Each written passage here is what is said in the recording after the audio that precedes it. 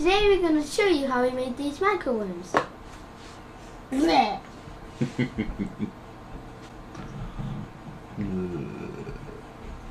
lots on the top. I think they've been gone actually.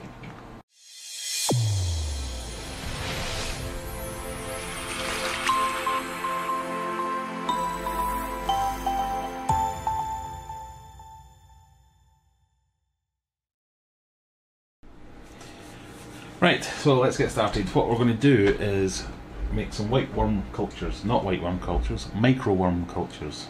So I bought these off eBay, some little starter cultures under the very generic micro worm, not a specific species. So in the past, don't even think about it. In the past, we've made grindal worms, white worms, various things like that. But I've got these off eBay, like I said, for a couple of quid. Come with some very nice instructions. Slightly different than I would normally do things, but we'll follow the instructions anyway. He says just to use oats, so we've got some porridge oats, just as a substrate in here. We need to get them wet, but not soaking, so kinda. Hence Stuart with his little squishy bottle wet but not swimming. Um, so gone in there very carefully so you don't spray the computers or anything. Give it a good squishing. What do you think? Are you smelling it? Yeah, because it smells like oats. Of course, what is oats? Oh. So a bit more, I think.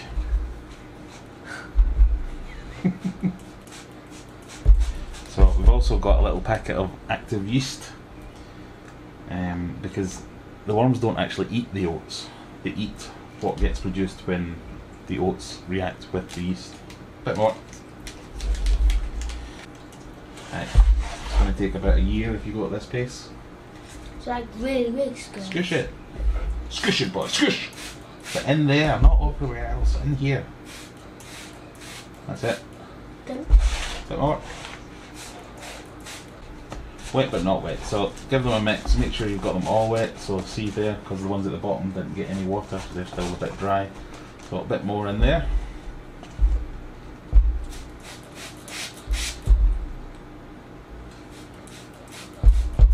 That's it. Keep going. So it's wet, gluey, sticky, but not sodden. That's kind of what we're going for. Supposed to stick to your hands too. Not supposed to stick to your hand. I would use an implement rather than your hand to stir it. So we're going to pour in a little bit of yeast. How in you, how in you, how in you. Oh So not tons, just a little bit. So we've got a little starter culture here. Um, you know what's good is if you open it and it smells like I don't know. What would you say this smells like? Bad. Bad. What bad though? No, it smells a bit like um, if you added wa- loads of water, like a bit of fish vomit, fish and, vomit. and a tiny bit of whale vomit, it'd smell like that. It reminds me of when you were a baby. When I flew. This was in your nappy. right, so It wasn't so watery. stick that in there. Just like that. No, we'll pour it in. Not from a great height. Get my finger. That's it.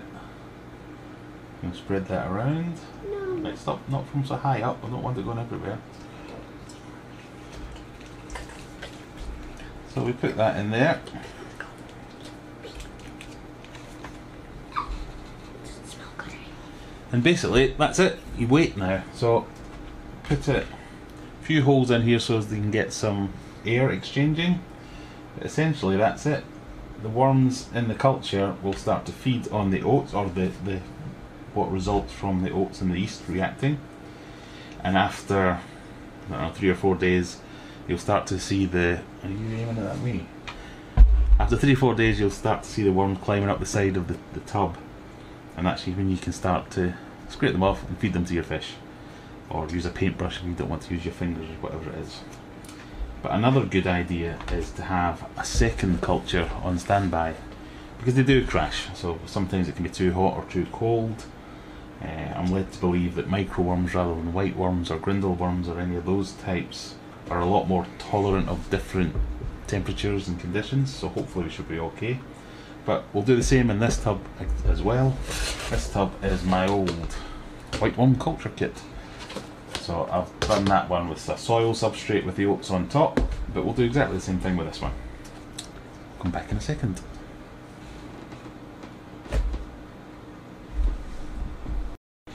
So in this second one, I'm going to go with a bit of bread rather than the oats because someone accidentally mixed in the oats to the soil. But that's another fairly traditional way of culturing worms is usually a bit of bread. So we'll see how the two perform against each other, I guess. So you can see he did it on purpose.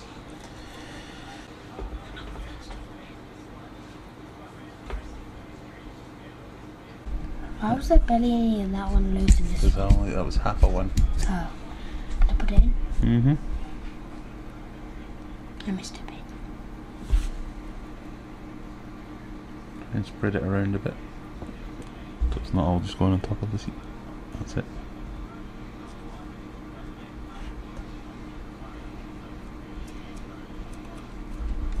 And that's it. Now we wait How long? Yeah. about three days. I'll say yeah. So we'll come back on Saturday or Sunday and check it out. See if we've got any worms. It'll probably taste like puke when I come back. Yeah, it's not the nicest smelling stuff, is it? No. Right, come back in a few days. So here we are, a few days later. Uh, it was actually about five or six days, not the three days that I thought it was going to be. But we have a successful culture in here. Um, I'll give you a, a closer look, but it's done well. The the two that I had going, the bread one, it did actually start to go fine, but after I think it was day three or day four, it just crashed, went completely mouldy. There was obviously something contaminating it in the the tub that I was keeping it in there. Um, a bit of dirt or some something got in there. I'm not sure what, but it happens. They, they do crash. That's why I always prefer to have two or three different cultures going at once. And once one gets really successful, start to split it off and get another one. So rather than big boxes like this, well, this is an ideal size really, but I like to have several of this size rather than a few big ones, or even smaller than this, and just stack them up. But let's have a look at it. So you see this glistening, shiny looking stuff, which stinks to high heavens, by the way. But that that's the worms. That's the culture that's doing well. Um, when you look at it from outside the box, this is what you see. This pattern up the sides of any of the containers that you might be using. That's the worms. That's when you know your culture's healthy because it's starting to climb the walls of the container. It's not just localized. And if you have a look under a, a microscope or something like that, you actually get to see um, what they are. They're not actually worms. They're they're a type of nematode. Um, they feed off the bacteria that gets produced when the the yeast reacts with whatever it is, the carbohydrates in the bread or in the oats or whatever it might be. And you see these tiny little things, and they do look like worms. I mean, this is I think this is 20 times magnification. Um, and you saw that little needle thing that I was using earlier. Um, that's about to come into the shot, and you'll be able to see by comparison how small these things are. And they're just a really brilliant fry food, um, or any small fish food. I'm actually going to use them on my shrimp, um, just purely because that's what they're there for. I'm, I'm hoping to get some breeding projects going, um, and then just have a, a good culture ready to go at any time. So this is how I harvest them. Just wipe your finger across the side of the container.